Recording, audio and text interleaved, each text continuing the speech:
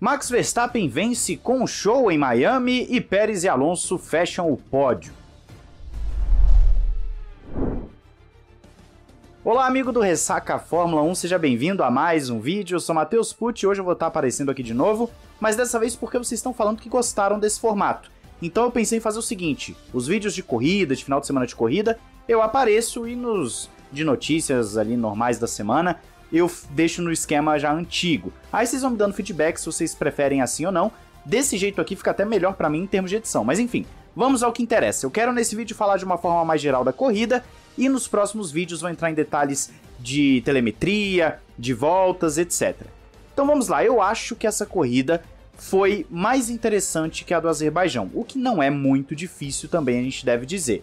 A do Azerbaijão foi bem fraquinha, enquanto em Miami nós tivemos oportunidades de ultrapassagens, tivemos estratégias, tivemos toda a questão do Verstappen seria ou não vencer a corrida, tinha a Ferrari brigando bastante ali no meio, a Mercedes brigando bastante, Haas brigando bastante, ou seja, teve mais movimento. Foi uma corrida mais interessante, com mais possibilidades, e claro que eu quero começar falando da Ferrari. A equipe de Maranello fez uma prova um pouco abaixo do que eu esperava. Talvez a classificação final deu uma certa enganada, achando não, ela não foi tão mal assim. Na verdade, foi. Eu diria que a corrida de Leclerc foi extremamente apagada, ele se fez valer da estratégia no final, sim, mas foi uma corrida extremamente apagada do Leclerc. Ele não teve, na verdade, um bom final de semana no geral, mas a corrida realmente não funcionou para o Leclerc, ficou muito tempo brigando com Haas, brigando com gente que não era para ele estar tá brigando. Tudo bem que o carro não ajuda. A gente tem que dizer isso. Carro da Ferrari é um carro que parece que não está evoluindo. É um carro que eles vão trazer atualizações nas próximas provas, mas em Miami não funcionou da forma que deveria. E aquilo que eu citava nos vídeos anteriores da Ferrari ter um, uma degradação de pneu elevada aconteceu porque o pneu não funcionava. A degradação está mais relacionada à questão térmica do que propriamente à borracha, tá? Só para você entender, nós já trouxemos essa explicação aqui também em outra oportunidade.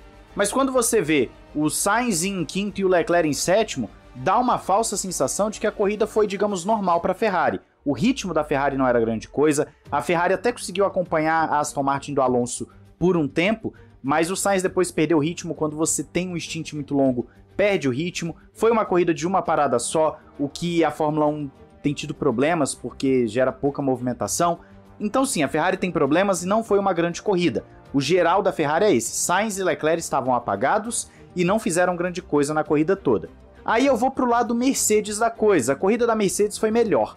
O Russell apresentou uma boa performance dentro da circunstância, o que eles não tinham de ritmo de quali apresentaram na corrida, e o Russell terminou na quarta posição, bom ritmo, boa estratégia, e o Hamilton também recuperou posições, também fez uma boa corrida de recuperação, só que o Hamilton teve uma primeira parte de corrida que eu diria que foi mais apagada. O Hamilton parecia que não estava se encontrando com o carro, ele teve um toque, ou pelo menos achou que teve um toque bem no início da corrida, na primeira volta, e tudo isso influencia para você ver que a corrida do Hamilton não estava muito boa. Depois, o Hamilton, quando para nos boxes, troca de pneus, ele faz também se valer da estratégia e da habilidade para conseguir subir posições e com isso marcar bons pontos para a Mercedes que está colada na Aston Martin no campeonato de construtores. A Aston Martin vai pro pódio, pódio, pódio, pódio, mas o Alonso é quem está pontuando. E já já eu vou entrar na Aston Martin. Então a Mercedes teve uma corrida que ficou dentro do esperado, talvez um pouquinho melhor. Ela, digamos, inverteu com a Ferrari. Hoje a Mercedes se mostra como ritmo de corrida a terceira força, enquanto a Ferrari caiu para a quarta força no ritmo de corrida. Então, quali corrida não são equivalentes, ao contrário do que eu vi alguns comentários no vídeo de classificação. Pessoal falando, ah, mas você tem que ver no quali como é que vai ser e tal. Não, gente. Quando trouxemos para vocês os dados da sexta-feira dos treinos livres, estavam muito mais relacionados à corrida do que propriamente à classificação, por mais que tivesse uma projeção de classificação. Você vê que realmente as coisas fazem mais sentido na corrida quando você compara sexta-feira com a corrida do que sexta-feira com classificação. Então a Mercedes hoje é a terceira força. E quem é a segunda força? A Aston Martin, só que a Aston Martin tem um agravante de que ela tem um piloto e meio, ela não tem dois pilotos. A Aston Martin marca muitos pontos com o Alonso, que fez uma corrida muito segura, uma corrida muito tranquila, defensiva quando teve que ser defensivo, atacou quando precisou, ótima corrida do Alonso, e o Stroll veio lá de trás, não ganhou tantas posições assim, fez uma corrida muito conservadora, muito fraca, não teve ritmo. O Stroll realmente mostrou mais uma vez que é um piloto comum.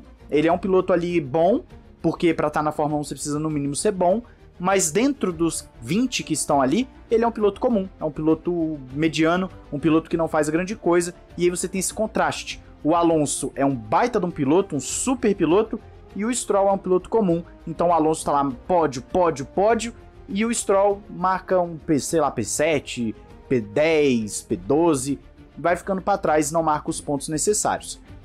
Não preciso nem dizer que a Red Bull é a grande equipe do momento e a corrida da Red Bull foi mais uma vez de dominância. O Pérez abriu do, do Alonso e depois conseguiu manter o gap, ele foi controlando a corrida e o Verstappen veio costurando todo mundo. A corrida do Max Verstappen foi excepcional, foi espetacular, foi fora de série. O ritmo dele é daquele digno de você lembrar daqui a alguns anos, a exemplo do que o Hamilton já fez algumas vezes, do que vimos Vettel fazer, do que vimos Schumacher fazer, enfim. É aquela corrida que o cara tem um desempenho tão superior que você fala, não tem como você dizer que é um mau piloto. O que o Verstappen fez andando de duros, o pessoal que estava no live timing comigo, acompanhando, dos membros, se você não é membro, entre aí para você acompanhar a corrida comigo, a gente tava no live timing, conversando, falando, olha, é assim, o tempo de volta tá assim, tá assado. O Verstappen de pneu duro andava melhor do que os concorrentes e o Pérez, inclusive, de pneus médios. E quando o Verstappen ainda estava com o duro de 40 voltas, ele ainda estava andando no mesmo ritmo do Pérez de, de pneu novo. Ou semi-novo, que já tinham gastado um pouquinho. É absurdo. O ritmo de corrida do Verstappen estava fora de sério. O Verstappen foi o piloto da corrida sem sombra de dúvida, um ritmo alucinante. Quando ele para no box para colocar o pneu médio, é fatal, você não tem como defender. É uma diferença muito grande de pneu e uma diferença muito grande de pilotagem. Eu sei que as pessoas estão falando muito sobre o Pérez vai brigar por título, mas gente, a realidade é muito mais próxima disso do que nós vimos em Miami do que aquilo que foi apresentado no Azerbaijão. O Verstappen é um piloto bem superior ao Pérez, e o que nós vimos nessa corrida foi isso: um show de ultrapassagens do Verstappen, um show de ritmo do Verstappen, ritmo puro, e isso se deve àquele aquela coesão que acontece de tempos em tempos, onde o piloto está no nível máximo, o carro está no nível máximo e aí você tem realmente algo espetacular. Então, no geral da corrida, Red Bull sobrou, você teve Aston Martin andando muito bem com Alonso, Ferrari inverteu com a Mercedes e aí você tem um meio de pelotão que é sempre muito embolado. E esse meio de pelotão ficou brigando, a Haas teve uma corrida interessante, só que o Huckenberg foi ficando para trás depois. Você via a Alpine também brigando, você via que até o AlphaTauri fez uma graça no final da corrida. O pessoal ficou brigando ali. A Williams apareceu pouco na transmissão também, não estava numa grande corrida assim. Mas a minha crítica fica para a McLaren. Por quê? A McLaren aparentemente está entendendo melhor o seu carro, a atualização de assoalho deve ter feito efeito, a gente é, pelo menos espera isso desde o último Grande Prêmio, que parece que melhorou, só que fizeram uma estratégia completamente burra. Eles colocaram pneus macios, os únicos que largaram de macios, e logo em seguida, nas primeiras voltas, pararam para o pneu duro. Eu falei lá para os membros na hora, eu falei, essa estratégia não vai dar certo. Porque, cara, se você fica com o pneu duro desde o início, já pensando em uma parada, você vai ter o pneu muito desgastado lá no final e vai tomar banho de todo mundo. E foi o que aconteceu. Ficaram lá nas últimas posições, uma corrida extremamente apagada das McLarens. Então a minha crítica fica a McLaren, mas foi uma corrida melhor do que o que aconteceu, por exemplo, no Azerbaijão, um pouco mais movimentada, com estratégias, e a gente vai dissecar um pouquinho mais disso no próximo vídeo. Então eu quero saber a sua opinião da corrida, diz aí nos comentários, não esqueça de se inscrever e ativar o sininho para não perder nada. Um grande abraço, valeu e falou!